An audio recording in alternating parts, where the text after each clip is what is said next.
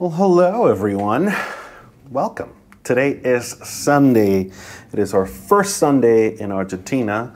Well, technically, for me, it's Monday, but let's not tell anyone. You guys know the drill. I am a time traveler, and this is how we do things. Uh, but anyway, uh, today's Sunday, and for all intents and purposes, I'm just going to give you a quick rundown. This was the day, Sunday was the day where all bets were off. And, um, you know, we really didn't give a fuck about what we ate. So let me just get right into it. It was Sunday. There's this nice cafe in the corner. And so I ended up going there. Now, there's something here in Argentina that it's basically like the most traditional thing that you can find for breakfast, and that's having a coffee and these little croissants that they call media lunas, like a half moon. But this is not a regular croissant that we're used to in the in the states. They're a little bit smaller, but they are loaded with butter and sugar. Like not added after the fact, but they're baked with a ton of butter and sugar. Like they're sweet, actually sweet. They're, you know, because like a regular croissant is not sweet, but these guys are sweet and buttery and mm, so good. And so now this was one of my things last year when I was here. Just I had a lot of those, and it was a bit of a problem. I mean, clearly, right? But basically, like we started out Sunday with this. We had two media lunas and some coffee. Uh, again, portions though. Like I I'm starting to to realize um, how big. I'm not starting to realize, but just I've known this. It's just getting back to a place where the portions are not as gigantic makes it so that you know just in, you know in perspective puts everything else in perspective and our portions in the US are just ridiculous they're just we need we need to do something about those portions in the US guys they're just so big. Uh, but yeah, so this was my breakfast, and um, that was that. Then Sundays in Buenos Aires, uh, for the past couple years that we've been spending more time here. Um, there, Sunday is um, obviously a family day, all you know, basically in all of Latin America. But um, there's uh, like a um, like a street fair that happens at a very specific neighborhood in, in the center of Buenos Aires called San Telmo. Uh, that's the neighborhood where I have always lived when I've been here in, in Argentina, in Buenos Aires. And so, like to me, Sundays as you go out and you walk the fair, there are a lot of like artisans and and people who make you know um, a lot of crafts, and it's it's just it's very fun and enjoyable, and uh, food is good. And there's this one place in particular that makes a very specific type of um, Argentinian sandwich. Uh, sandwiches tend to be very simple. It's like the the meat, the bread, and the chimichurri, which is the sort of um, oily sauce. And so there's one uh, very specific type of sandwich called sandwich de bondiola. Bondiola is kind of like very um, thinly sliced pork, but it's not like like pork like a, uh, like turkey slices or it's not a cured meat. It's it's very thinly sliced, but it's raw pork that then you do on the grill and mm, it is so good. And so that is what I had for lunch because we were walking the fair and then we came went in there and had it. Is this very like unassuming place, total hole in the wall, but it is the most delicious thing ever. Um, and so yeah, that's what we had for lunch. I took a little video. I didn't take a picture. I took a little video because I wanted you guys to see the whole ambience because it's you know like very yeah, I guess unassuming is the right word. Like it is very no frills, but so delicious. And this is what it looks like.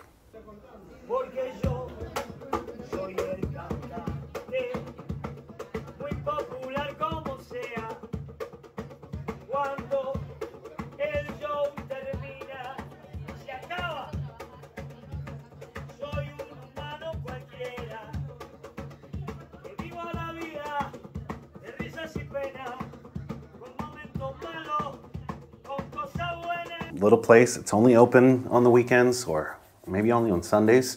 is run by this um, um, sort of like grumpy old man who's just like very focused and doing his thing, and then his kids and his wife.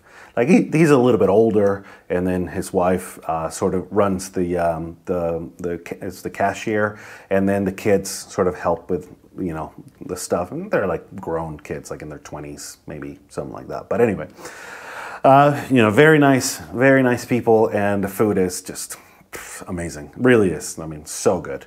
Uh, and we did have fries. We shared the fries. Um, and my girlfriend and I shared the fries, and we each had a beer. So um, that's another thing that I guess I wasn't thinking of. Like, there's a lot of beer, like beer and wine. Like people eat with beer and wine quite a bit, quite a bit. Like on a daily basis, it's definitely more. Um, I don't want to say traditional, but it just it happens more. So um, I'm gonna have to make sure that I stick to my water and my seltzers that I've been, you know, my club soda, um, if you will.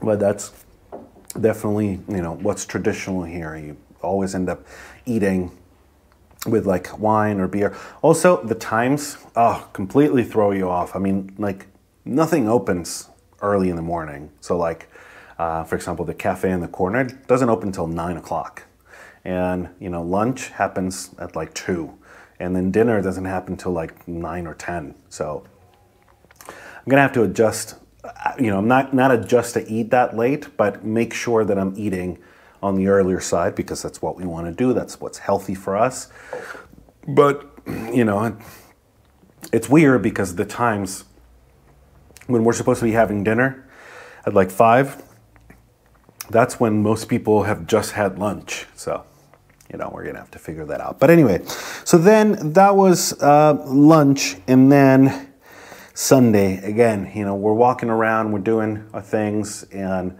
uh, the pastries and coffee and like sort of like that, you know, coffee shop with with sweets and shit in the afternoon is like so traditional here.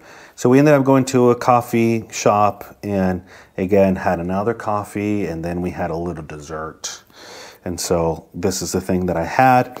It's kind of like, it was like pastry with uh, dulce de leche, which is sort of like a, yeah, I mean, you guys know what dulce de leche is in the US. It's just very sweetened milk and a little meringue on top. And so this is, I mean, as far as like sugar, this was Sugar Central Day.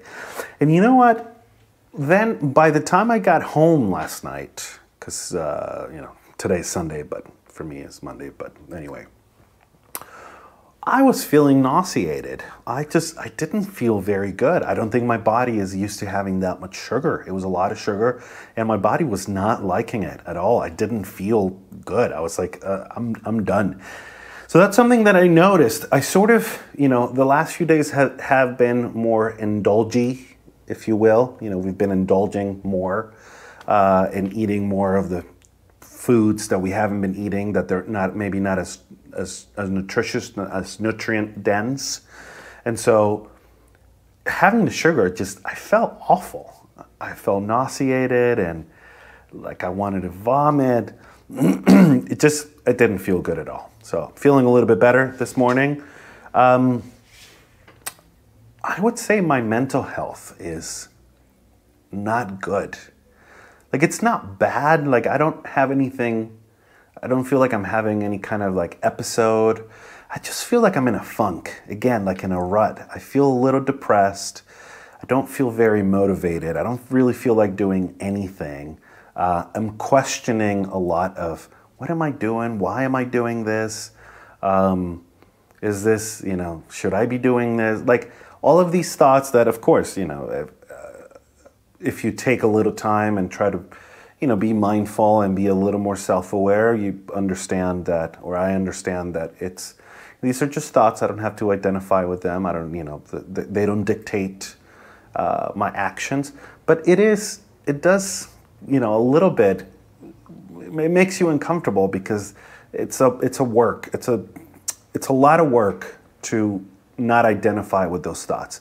and be mindful enough to recognize that these are just thoughts that are appearing in consciousness and I can just let them go. I don't have to identify with them, I don't have to let them dictate my life.